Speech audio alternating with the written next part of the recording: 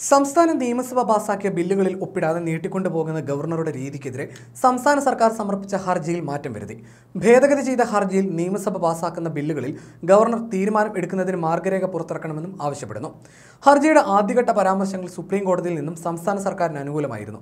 ഈ സാഹചര്യത്തിലാണ് പുതിയ നീക്കം. മാർഗരേഖയെക്കുറിച്ചുള്ള ചർച്ചകളും സുപ്രീം കോടതി പരാമർശത്തിന് പിന്നാലെ ഉയർന്നിരുന്നു. ബില്ലിൽ ഒപ്പിടുന്നതിൽ സമയക്രമം അടക്കം നിശ്ചയിക്കണമെന്നാണ് കേരളത്തിന്റെ ആവശ്യം. ഭരണഘടനാപരമായ അധികാരങ്ങൾ വിനിയോഗിക്കുന്നതിൽ ഗവർണർക്ക് വീഴ്ച പറ്റിയെന്ന് വിധിക്കണം എന്നും ആവശ്യമുണ്ട്. ഗവർണറുടെ പരിഗണനയിൽ ഇരിക്കുന്ന ബില്ലുകളിൽ അടിയന്തരമായി തീരുമാനമെടുക്കാൻ ഗവർണർക്ക് നിർദ്ദേശം നൽകണമെന്നും സുപ്രീം കോടതിയിൽ നൽകിയ ഹർജിയിൽ പറയുന്നു. പരിഗണനയിലുള്ള ബില്ലുകളിൽ വേഗം തീരുമാനമെടുക്കാൻ നിർദ്ദേശിക്കണമെന്നാണ് സർക്കാരിന്റെ ആവശ്യം. ബില്ലുകൾ ഗവർണർ പരിഗണിക്കുന്നതിലും അവ അംഗീകരിക്കുന്നതിലും ഗവർണർ സമയക്രമം അടക്കം വ്യക്തമാക്കിക്കൊണ്ടുള്ള മാനദണ്ഡം വേണമെന്ന നിലപാടിലാണ് സർക്കാർ. ഗവർണറുടെ പരിഗണനയിൽ ഇരിക്കുന്ന ബില്ലുകളിൽ അടിയന്തരമായി തീരുമാനമെടുക്കാൻ ഗവർണർക്ക് നിർദ്ദേശം നൽകണമെന്നും സുപ്രീം കോടതിയിൽ നൽകിയ ഹർജിയിൽ ആവശ്യപ്പെടുന്നുണ്ട്. വ്യക്തമായി പഠിച്ച ശേഷം മാത്രമേ ബില്ലുകളിൽ ഒപ്പുവെക്കൂ എന്നതാണ് ഗവർണറുടെ നിലപാട്.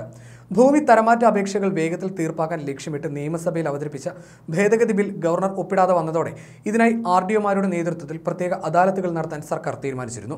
നെൽവയൽ തണ്ണീർത്തട സംരക്ഷണ രണ്ടായിരത്തി ഇരുപത്തി മൂന്ന് ബില്ലിൽ മൂന്ന് മാസം കഴിഞ്ഞിട്ടും ഗവർണർ ഒപ്പിടാതെ വന്നതാണ് സർക്കാരിനെ വലിച്ചത്. ഈ സാഹചര്യത്തിലാണ് ബില്ലിൽ ഒപ്പിടുന്നതിൽ സമയക്രമം സർക്കാർ തേടുന്നത്. ഗവർണറുടെ പരിഗണനയിൽ ഇരിക്കുന്ന ബില്ലുകളിൽ അടിയന്തരമായി തീരുമാനമെടുക്കാൻ ഗവർണർക്ക് നിർദ്ദേശം നൽകണമെന്ന് സുപ്രീം കോടതിയിൽ ആവശ്യപ്പെടുന്നുവെന്നാണ് സൂചന. ബില്ലുകളിൽ തീരുമാനമെടുക്കാനുള്ള ഗവർണറുടെ അധികാരം സംബന്ധിച്ച ഭരണഘടനയുടെ ഇരുന്നൂറാം അനുച്ഛേദവുമായി ബന്ധപ്പെട്ട വിഷയങ്ങളിൽ പ്രത്യേക മാർഗരേഖ പുറത്തിറക്കണമെന്നാണ് ആവശ്യം. ഇതിനായി നിലവിലെ ഹർജിയിൽ ഭേദഗതി അപേക്ഷ നൽകാൻ കേരളത്തിന് സുപ്രീം കോടതി അനുമതി നൽകിയിരുന്നു. എന്നാൽ മാർഗരേഖ പുറത്തിറക്കുന്നതിന് കേന്ദ്രം ശക്തമായി എതിർക്കുമെന്നാണ് സൂചന. ഭരണഘടനയുടെ ഇരുന്നൂറാം അനുച്ഛേദ പ്രകാരം നിയമസഭ പാസാക്കുന്ന ബില്ലുകൾ ഗവർണർക്ക് കൈമാറണം. ഗവർണർ അതിൽ ഒപ്പുവെക്കുമ്പോൾ മാത്രമാണ് നിയമമായി മാറുന്നത്. എതിർപ്പുണ്ടെങ്കിൽ ഗവർണർക്ക് അവ സർക്കാരിന് തിരിച്ചയക്കാം. അല്ലെങ്കിൽ കേന്ദ്രത്തിന് കൈമാറാം. ഇക്കാര്യങ്ങൾ എത്രയും വേഗം ഉണ്ടാകണമെന്നാണ് ഭരണഘടനയിൽ പറഞ്ഞിരിക്കുന്നത്. എന്നാൽ ഇതിന് സമയക്രമം നിശ്ചയിച്ചിട്ടില്ല. സംസ്ഥാന നിയമസഭ പാസാക്കിയ ബില്ലുകളിൽ ഗവർണർ തീരുമാനം വൈകിപ്പിക്കുകയാണെന്നും ഇതിലൂടെ ജനങ്ങളുടെ അവകാശം നിഷേധിക്കുകയാണെന്നും ആരോപിച്ചാണ് കേരള സർക്കാർ ഹർജി നൽകിയത്. അതിനിടെ കേരള സർവകലാശാലയ്ക്ക് മുന്നിൽ ഗവർണറെ പരിഹസിച്ചുകൊണ്ട് കെട്ടിയ ബാനർ നീക്കം ചെയ്യേണ്ടതില്ലെന്ന കേരള സർവകലാശാല സിൻഡിക്കേറ്റ് യോഗ തീരുമാനം ഗൗരവത്തിലൂടെ കാണാനാണ് രാജ്ഭവന്റെ നീക്കം. യോഗത്തിൽ പങ്കെടുത്ത സർക്കാർ പ്രതിനിധികൾ ഉൾപ്പെടെ ഒൻപത് പേരും ബാനർ നീക്കം ചെയ്യേണ്ടതില്ലെന്ന നിലപാടിലായിരുന്നു. എന്നാൽ ബാനർ നീക്കണമെന്ന നിലപാടിലായിരുന്നു വൈസ് ചാൻസലർ.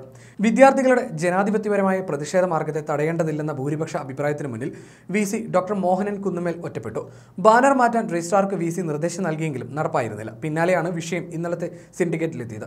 ഈ വിഷയം കോടതിയിലെത്താനും സാധ്യതയുണ്ട്. അങ്ങനെയെങ്കിൽ കോടതി തീരുമാനത്തിലൂടെ മാത്രമേ ബാനർ മാറ്റം നടക്കൂ. അതിനിടെ ബാനർ ആരും അഴിക്കുന്നില്ലെന്ന് ഉറപ്പാക്കാൻ എസ് എഫ് ഐയും പ്രത്യേക സംവിധാനം ഏർപ്പെടുത്തിയിട്ടുണ്ട്. സിൻഡിക്കേറ്റിൽ സി പി എം അനുകൂലികളാണ് കൂടുതൽ. ഇതുകൊണ്ടാണ് ബാനറിൽ വി സിയുടെ നീക്കം പൊളിഞ്ഞത്. സർവകലാശാല ക്യാമ്പസിൽ ബാനറുകൾ കെട്ടുന്നത് നിരോധിച്ചുകൊണ്ടുള്ള ഹൈക്കോടതിയുടെ ഉത്തരവിന്റെ ലംഘനമാണ് നടന്നിരിക്കുന്നതെന്ന സേവ് യൂണിവേഴ്സിറ്റി ക്യാമ്പയിൻ കമ്മിറ്റിയുടെ നിവേദനം സിൻഡിക്കേറ്റ് ഉപസമിതിയുടെ പരിഗണനയ്ക്ക് വിടാനും യോഗം തീരുമാനിച്ചു. സെനറ്റിലേക്ക് ഗവർണർ നാമനിർദ്ദേശം ചെയ്യേണ്ട വിദ്യാർത്ഥി പ്രതിനിധികളുടെ പാനൽ സംബന്ധിച്ച ചർച്ച യോഗത്തിൽ രൂക്ഷമായ വാക്പോരിനും ഇടയാക്കി.